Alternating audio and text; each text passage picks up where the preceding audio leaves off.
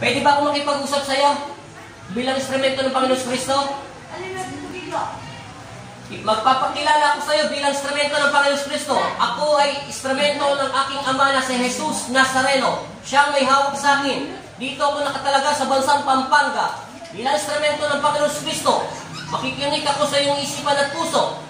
Pwede ba kita makausap na maluwalhati? O pwede? O pwede? O pwede ba? O sige. Ikaw, alam ko kung matagal ka na sa ng katawan niya. Anong dahilan kung bakit hindi mo siya maiwan-iwanan? At nakarating na, nagaling na siya ng Samar, nakatawid na siya ng dagat, napunta pa siya dito sa Pampanga. May gusto ka ba sa kanya? Ha? May gusto ka? Makipag-usap ka lang, hindi kita sasaktan. Bibitawan ko ang aking sandata, pero pag nag-atake ka sa akin na magkakamali ka, tanda mo. Ilan liwanag nakikita mo sa paligid mo? Wala kang makita. Umanda ka pag umatake ka sa akin. Bibitawan ko to. Naintindihan mo? Sige.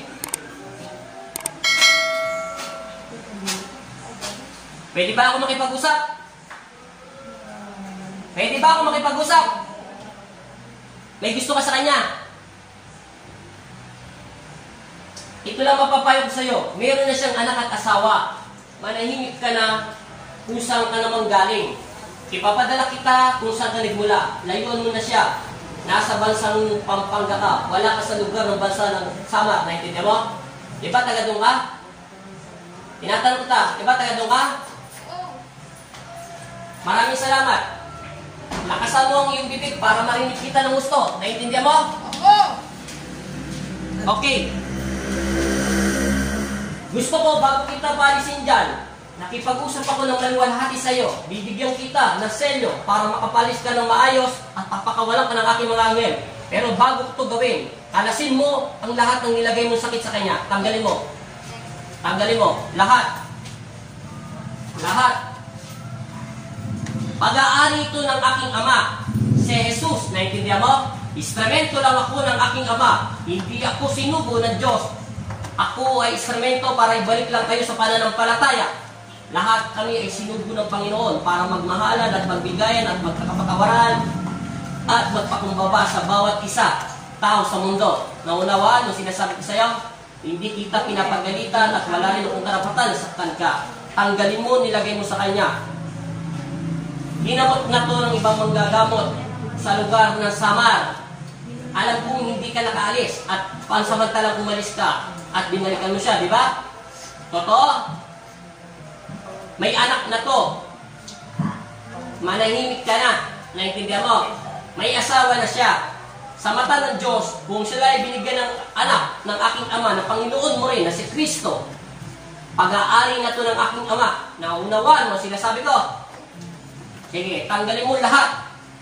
Makikipag-usap lang ako sa iyo ha. Ito ang mga kamay ko. Hindi kita ginamitan ng palito, tanda mo. Ubos.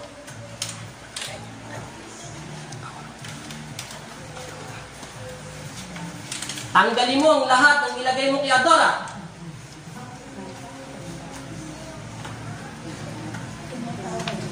Huwag ka nang humanga sa kanya.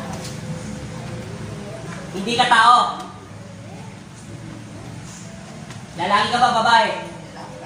Lalaki ba? Sigurado lalaki ka? Matipuno ka ba lalaki? Anong tawag sa inyo sa panahon nyo? Ilang daan taong ka na namamatay? Matagal na matagal na? Hindi ka tao. Eh ano ka? Anong nilalang ka ng Diablo o anong nilalang ka ng masamang espiritu? Duwende ka ba? Apre ka ba? Masamang espiritu? Hindi. Basta hindi ka tao? Sige, tanggal. Hindi na ako, hindi na kita kukulitin dahil hindi naman kayo magsasalita ng maayos. Pero alam ko, hindi ka tao. Sige, wala na, meron pa. Tanggalin mo pa daw doon sa batok niya. Lahat. Pati ulo, mata, tenga. Tanggalin at linisin mo. Lalaki. Lalaki makipuno. Lalaki ka talaga. Magsalita ka, lalaki ka.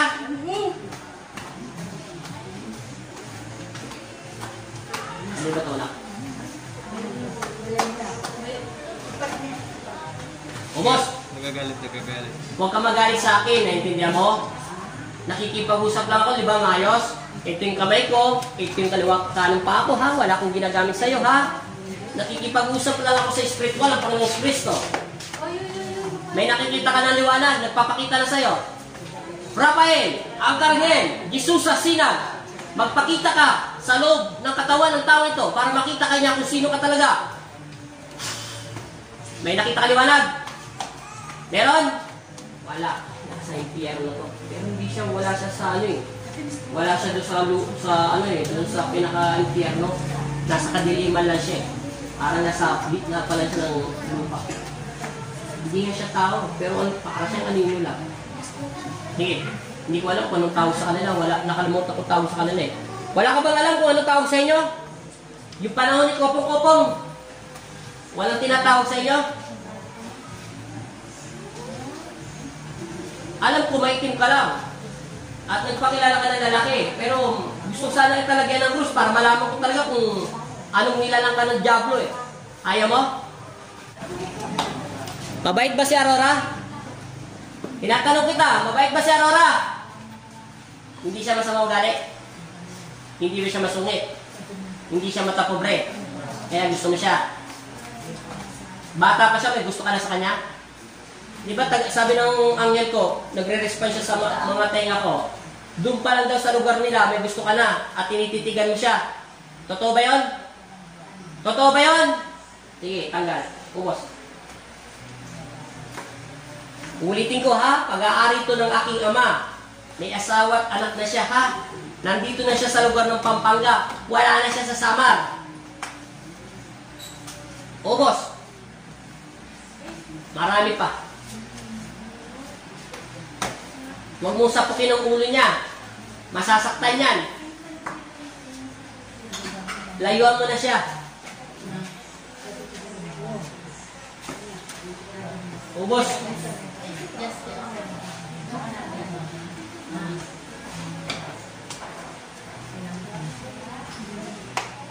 Huwag mo na siyang babalikan, ha?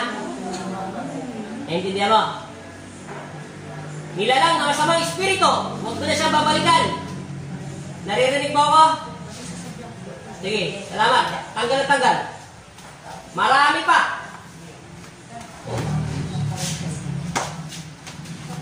Huwag mo saktan ang katawan niya. Ayusin mo pagtanggal. Tanggal.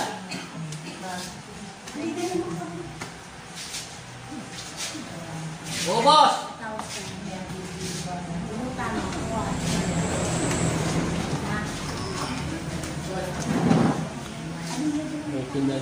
Yes, Joanne. Nag-gusto sa akin. Dadabog. Galit ka yata eh. Galit ka ba? Sige, tanggal. Isipin nyo ha. Alam mo, nasisiraan siya ng ulo ha. Pero hindi niya alam yung ginagawa niya. Mamaya, magtatanungan tayo dyan. Tingnan mo, galit pa siya. oh. Kasi tinanggal na, na pinapatanggal ng Panginoon lahat yung mga nararamdaman niya sakit. Wala siyang alam sa ginagawa niya. Pero matagal niya nang sakit yan. Galing pa siya ng samar. Nakapag-asawa na siya nakapampangan sa Lubao. Hindi pa rin siya iniwanan ng masamang espiritu.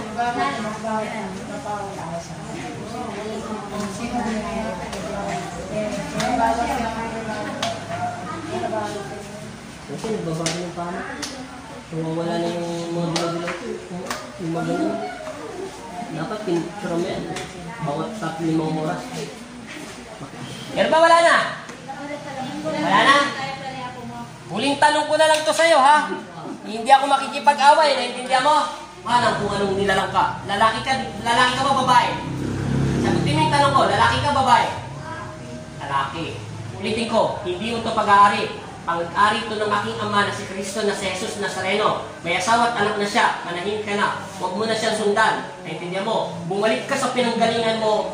Ipalulusot kita sa mga anghel ko para makatawid ka sa kabilang dagat at sa dagat, naintindihan mo, para makarating ka agad ng sama. Nasa sayo kung dito ka lang sa Pampanga, pero wag na wag mo itong gagalawin. Naintindihan mo? Hindi kita sasaktan. Hindi ko susugatan ang iyong katawan. Naintindihan mo? Nakikiusap ako sa'yo. Lalaki, maraming salamat. Banggitin mo si Jesus. Kaya mo banggitin ang iyong labi? Dahil malulusaw ka ba? O takot lang kayo sa Panginoon? Hindi nyo kaya banggitin ng Diyos namin? Hindi nyo mababanggit si Jesus? Kaya nga, alam ko naman yun. Hindi ka tao. Maraming salamat. At huwag mo nang lulukuhin yung una na gamon sa kanya, ha? Naintindihan mo? Naunawaan mo? Naunawaan mo? Pag sinabi kong umalis ka na, umalis ka na, ha? Sa ngalan ng Ama at ng Anak at Espiritu Santo, sa pangalan ni Jesus, sa pangalan ng Ama, ng Anak at Espiritu Santo, masamang Espiritu, umalis ka sa loob ng katawan ng tao ito, sa pangalan ni Jesus. Amen. Ama Jesus, Amang Nazareno, kami ang iyong mga anak. Ilayo kami sa panganib at masamang Espiritu. Binigyan mo ko ng kapangyarihan, kaya kayo po ang manguna sa aming buhay. Amen. Ama Jesus, Amang Nazareno, bigyan mo ko ng kapangyarihan na makapagpagaling ng karamdaman niya. Sa pangalan ni Jesus, binabasbasan kita sa pangalan ng Ama at ng Anak at Espiritu Santo. Amen. Lumayas ka sa katawan ng tao ito.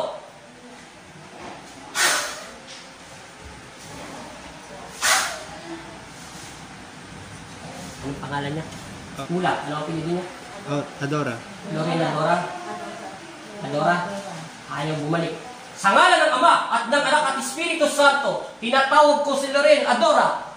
Bilang instrumento niyo, Panginoong Kristo, tinatawag ko si Rafael at ang ng Jesus sa sina. Kunin mo ang kanyang kaluluwa at ibalik mo sa katawan lupa niya. Sa utos ko, bilang instrumento ng aking Ama na si Jesus na Panginoon nating lahat, tinatawag kita at ginigising ko ang iyong diwa sa pangalan ni Jesus. Amen! Gumising ka. Masyado tayong natagalan. Anong pangalan mo? Anong middle name mo? Ano, ilan taon ka na? Babae ka lalaki? May anak ka na? Hindi ka lalaki? Salamat. Sigurado kung hindi ka lalaki? May ulit tanong pa ako sa'yo. Hindi ka talaga lalaki? Hindi ka lalaki? Babae ka? Pumikit ka?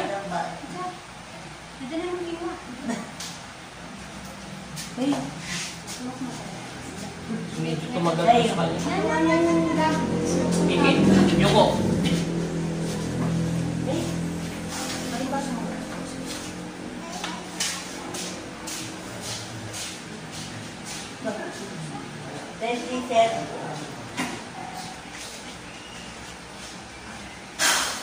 Dilat. Ayun. May nakita ka liwanag? Nasaan yung liwanag? Saan yung liwanag? Lorraine! Anong pangalan mo? Lakasan mo yung bibig mo, hindi ko ba? Ano ang pinito mo? Hawakan mo man yung tiyan mo kung masakit. Masakit? Nawala na yung sakit? Pati yung batok mo. Pati yung dibdib mo dito. Mas hindi, yung kabila. Yan, masakit. Siguraduhin mo, ma- masakit naman ka, wala na. Nawala lahat ng sakit mo? Maliwanag ang paningin mo? Kanina, anong tingin mo sa akin? Malabo pa tingin mo sa akin? Yung unang kitang pinopo? Hindi mo ako makita? Wala ka kasi sa ano eh. Wala ka sa... Wala, basta nandun ka lang sa gitna ng lupa. Nandun ka lang sa kadiliman. Ilan liwanag na nakita mo? Madilim lahat. Wala ka nakikita liwanag. Kahit isa. May nakita ka lalaki doon? Wala. Ilan? Naninilaw lang siya.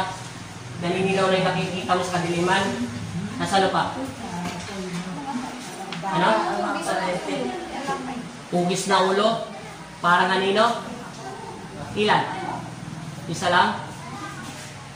Tumayo ka nga. Subukan mo sundutin yung tiyan mo. Sabi mo kasi yan ang masakit sa'yo. eh. Masakit pa? Wala na? Baba mo sakit mo. Gano'n mo pagpag mo. Kabila. Eh, gano'n mo dito mo. Kung masakit pa. Mawala na sakit mo. eh. Maswerte ka. May crush pala sa yun. Hindi pa na nila na ano. Ano yan? Akin. Tubig yan. Ah, sa kanya. Ano pangalan mo? Middle name? Middle name?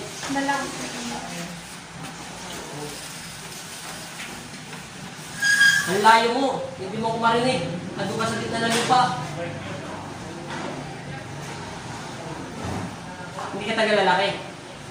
Sabi mo lalaki ka. Sabi mo, crush mo sila lahat. Ikaw ha, may tinatago ka pala. Tatanungin kita, inumin mo yung kalahati. Di ba ginamot ka na ng ibang manggagamot? Tapos sinabi niya na wala na. Ay hindi, hindi niya pala sinabi na wala. Gumaling ka lang, hindi ka makalakad. Tapos paglabas mo, nakalakad ka na. Tapos bago ka umalis sa Samar, okay, okay ka na. Kung pumunta ka dito sa Pampanga, biglang sumakit ang tiyan mo. Mga ilang buwan mo na sumakit yan. Ngayon lang Tapos bumalik. Bumalik yung dati mong sakit. Hindi siya umalis sa katawan, katawan mo. May gusto daw siya sa'yo. Iba sabi niya may gusto daw siya sa'yo. Hindi ako natutuwa. Anong tuwa? Ano ba yung sabihin yun? Natatawa. Ah, nakatawa ka sa akin. Hindi ako, nat- hindi ako nagpapatawa. Tanong mo sila. Lalaki ka. May gusto daw siya sa'yo. Hanggang ngayon, binabantayan ka pa niya. Pero ngayon, pinauwi ko muna siya sa Samar kasi mabait naman siya. eh. Taga-Samar siya. Kaya pag nasa Samar ka, tuwan-tuwa siya. Pag nandito siya, nagagalit siya kasi hindi ka daw niya makita. Nahihirapan din tumawid yan ng dagat. Inaabot din sila na matagal bago sila makapunik dito. Mabuti sana kung doon siya sa Maynila. Sasakay lang siya sa mga bus. May daanan silang lugaan niya bago sila makarating dito sa bansang Pampanga. Hindi ka taga lalaki. Babae ka. Sabi mo kanina. Sabi mo kanina, lalaki ka na lalaki. Hindi naman kami lalaki. Cut ko na po. Okay na yan. Hindi, teka lang. Anong pakaramdam mo sa tiyan mo? Wala na sakit. Kahit isa. Magpag magdasal ka na magdasal. Nako, ubusin mo yan. May crush sa'yo yung, yung anino. Basta nakita mo lang, madilim. Tapos parang dilaw. May liwanag. Tapos parang mga ulo lang. Walang buhok. Ulo lang. Kapay ka. Ano ba yun? Secret, ano? Ano, ano ba yun? May manliligaw siya. Man, may, manliligaw ka na madilim. Okay na yan. Wala ka na sakit eh. Wala na ba tayo sakit? Sundutin mo nga ulit. Wala na. Oh, wala na. Ano masasabi mo sa Panginoon? Hindi sa akin. Kanino? Oh, tama. Lagi ka magdasal. Hindi.